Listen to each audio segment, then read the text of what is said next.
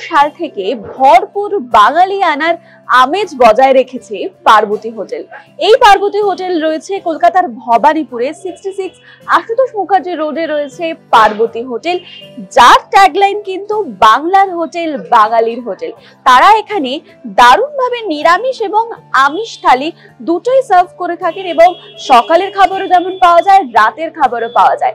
আর দারুণভাবে কথাটা বললাম এই কারণেই যে আমরা ইতিমধ্যে যে কটা পাইস হোটেল জিও বাংলার পক্ষ থেকে আপনাদেরকে ঘুরিয়ে দেখিয়েছি সবারই ব্যবহার, আন্তরিকতা সবটাই ভীষণ ভালো। তবে এই পার্বতী হোটেল কিন্তু ফেমাস একটা বিষয়ের উপর বেশি করে যেটা হচ্ছে তাদের আপ্যায়নটা কিন্তু সাংঘাতিক ভালো হয়। আমরা দেখব আজকে এই পার্বতী হোটেলকে এবং এখানকার যে খাবার দাবার রয়েছে সেটাও টেস্ট করে বলব। তারা তাদের প্রায় একশো বছরের কাছাকাছি ঐতিহ্য বজায় রেখে ঠিক কীরকম খাবার আমাদের সার্ভ করছে।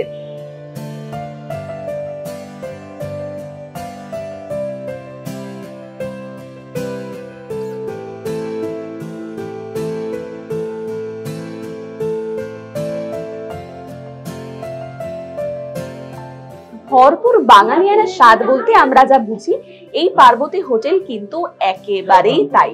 আর এখানে এলে আপনাদেরকে যেন মনে হবে যে কলকাতার সেই যৌথ পরিবারের পুরনো স্মৃতিগুলো একটু বেশি করে উস্কে উঠছে। আর তাদের রান্না কিন্তু আমি শুনেছি একদম সাবেকি আনা বাড়ির রান্নার স্বাদ দেয়। আমি এবার সেটাই টেস্ট করব, আপনাদেরকে জানাব এক্স্যাক্টলি কেমন টেস্ট এখানকার রান্না।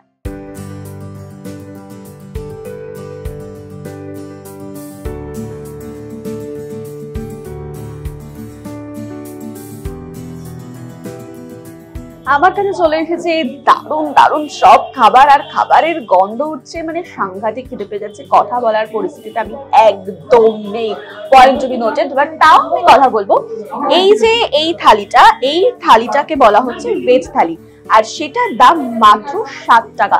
মানে আজকে দিনে পাইস হোটেলে বসে সাত টাকায় এত সুন্দর আপ্যায়ন করে খাওয়ানোটা কিন্তু হ্যাশট্যাগ নট পসিবল বাট তাও ওনারা দিচ্ছেন কারণ ঐতিহ্যটা বজায় রাখতে হবে। এই ভেজ থালিতে কি থাকছে আমি একটু বলে দিই। ভাত থাকছে, ডাল থাকছে, এটা হচ্ছে ঝিরি ঝিরি আলু ভাজা, বাদাম দিয়ে সেটা থাকছে। আর এটা থাকছে হচ্ছে একটা বেগুনের ঝাল, সর্ষে দিয়ে। তারপর থাকছে হচ্ছে চাটনি, আর এটা হচ্ছে পাঁপড় আর লেবু। এইটার দাম হচ্ছে ষাট টাকা। এবার যদি আপনি চিকেন নেন, তাহলে এটা হচ্ছে হচ্ছে টু হান্ড্রেড মানে ভেজ থালির সাথে।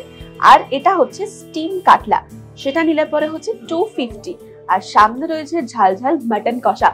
দু পিস মাটন দিয়ে, একটা আলু দিয়ে, এই টোটালটা নিলে হচ্ছে, থাকছে হচ্ছে টু ফিফটি সুতরাং স্টিম কাটলা আর মাটন দুটো নিলে টু ফিফটি থাকছে।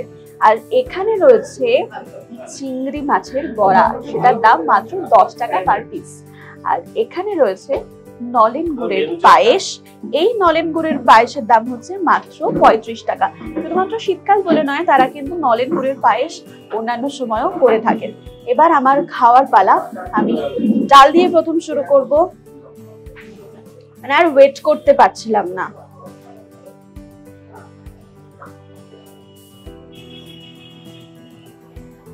বাড়ির রান্নার কথা সবাই বলছেন যে এখানে বাড়ির রান্নার স্বাদ পাওয়া যায়। সেটাই দেখব। ঝুরঝুরে আলু ভাজা দিয়ে ডাল ভাত। এক্স্যাক্টলি কতটা বাড়ির ডাল ভাত, আলু ভাজার মতো টেস্ট দেয়।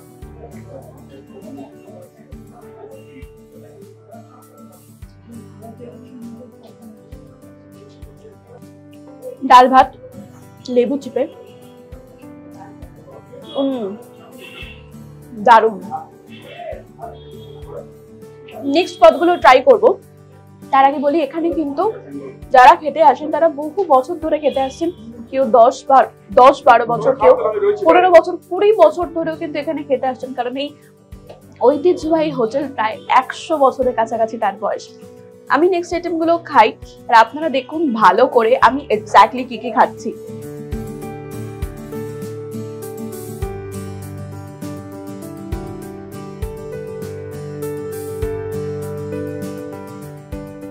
হচ্ছে সেই বেগুনের ঝাল, সর্ষে বেগুন।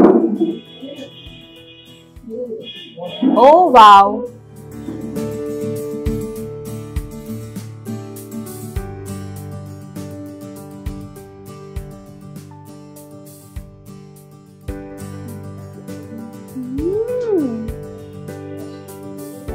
কেন এখানে বাড়ির রান্নার টেস্ট সবাই খুঁজে পান? বোঝা যায় যারা প্রবাসে থাকেন তারা এক্স্যাক্টলি এটাই মিস করেন। আর যখন কলকাতায় ফেরেন, তারা কিন্তু স্পাইস হোটেল হান্টিং করে থাকেন। এরকম আমি অনেককে চিনি।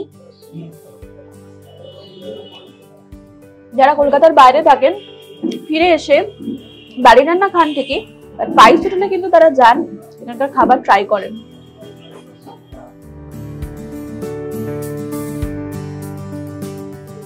এইটা হচ্ছে স্টিম কাতলার সাইজটা দেখুন। কাতলার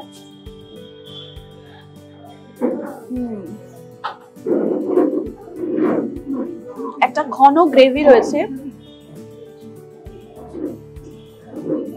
একই স্টিম মানে আমরা জানি যে মাছ নরম। সে সাথে কাতলার কিন্তু কোয়ালিটিটা খুব ভালো মানে ভাঙার পরেই বুঝতে পারছি।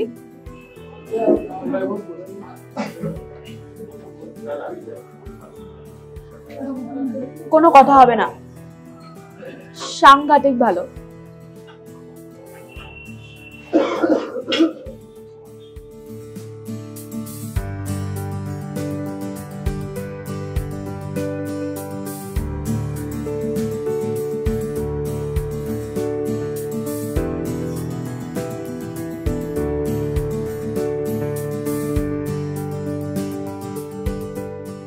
অলরেডি আমার পেট ফুল এত কিছু খেয়েছি ভুলে গেছি।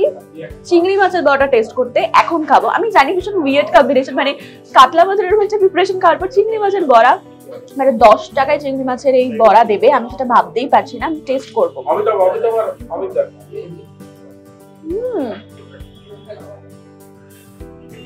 এক্স্যাক্টলি এটা পুজো চিংড়ির বড়া। এরকম জিনিস না? অনেক পুরনো দিনের মা ঠাকুমাদের বানানো রেসিপি এটা সিরিয়াসলি ভীষণ ভালো। মাত্র দশ টাকা ভাবাই যাচ্ছে না। যারা যারা পার্বতী হোটেলে খেয়েছেন, চিংড়ি মাছের বলে ট্রাই করেছেন কিনা জানিয়ে ফেলুন আমাদের কমেন্ট সেকশনে আমি চলে যাই আমার নেক্সট আইটেমের দিকে।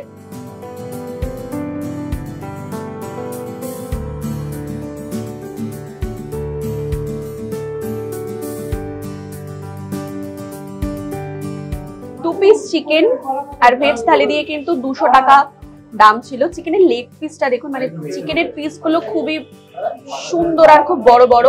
ইভেন গ্রেভিটাও আমি একটু দেখাই। গ্রেভিটাও কিন্তু যথেষ্ট ঘন। ওই থেকে একটা চিকেনের পিস আছে, যেটাও বড়। এবার আমি টেস্ট করব। লেগ পিস চিকেনের আমি সাংঘাতিক ভালো খাই। এই চিকেনের লেগ পিসটা কতটা আমি ভালো খাই সেটাই দেখাবো।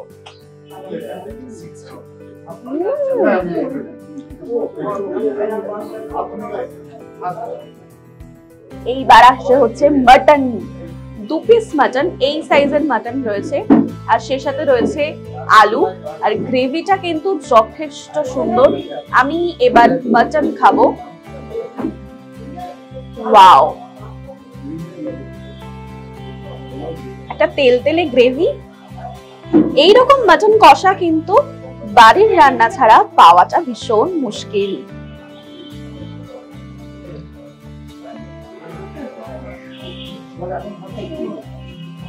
মাটনটা সাংঘাতিক নরম।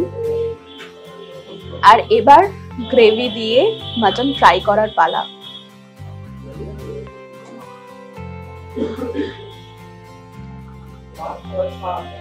আমি কথা বলার অবস্থায় নেই। আমি খাব। আর আপনারা? পুরো ভিডিওটা দেখুন, কারণ এখনও শেষ হয়নি আমার খাওয়া।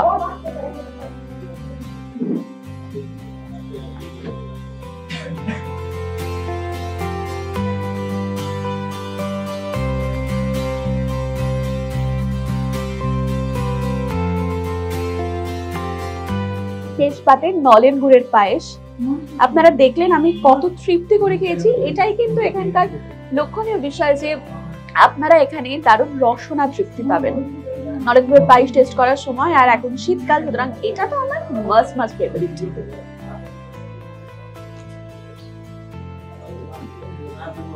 কাজু কিশমিশ দিয়ে নলেন গুড়ের পায়েস যেন মনে হচ্ছে একদম ঠাকুমা বা দিদার হাতের পায়েস খাচ্ছি। পার্বতী হোটেলের সুখ্যাতি আপনারা আগেও হয়তো শুনেছেন, আর এখন আমার একটাই প্রশ্ন থাকছে যে এই হোটেল একশো বছরের ঐতিহ্য যারা বজায় রেখেছেন, এবার আমি তার সাথেই একটু কথা বলে নেব।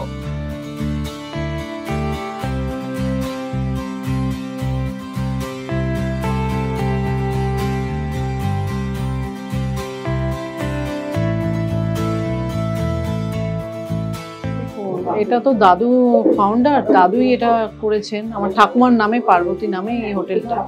এবার দাদু চালিয়েছেন। তারপরে দাদুর পর আমার বাবা ধরেছিলেন হালটা তো বাবা তো ষাট বছর পঁয়ষট্টি বছর চালিয়েছেন। তারপরে বাবা গত হওয়াতে এখন মা আছেন সাথে। আমি এখন চালাচ্ছি। চেষ্টা করছি বাবার মতনই মানে হোটেলের গুডউইলটা রাখা। জন্য- হ্যাঁ, একদম। আমি অত রিচ খুব যে করা আমার রেগুলার কাস্টমার যারা খাচ্ছে মানে আমরাও নিজেরাও এখানেই খাই।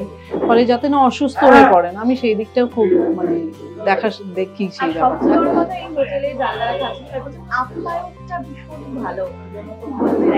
ওনারা ওনারাই জানেন।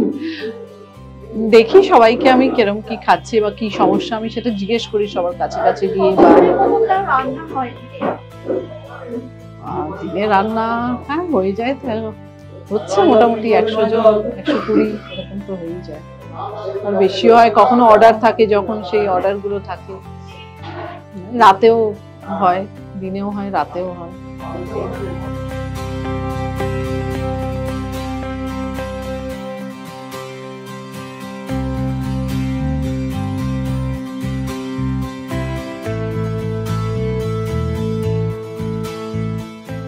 দেখলেন এই পার্বতী হোটেলকে। আর তারা কিন্তু বারবারই বলছি যে ঐতিহ্য বজায় রেখে, যে খাবারের গুণমান বজায় রেখে এখনও পর্যন্ত সবাইকে দারুণভাবে আপ্যায়নের সাথে খাবার পরিবেশন করছেন, তা কিন্তু সত্যি বাহবা দেওয়ার মতো।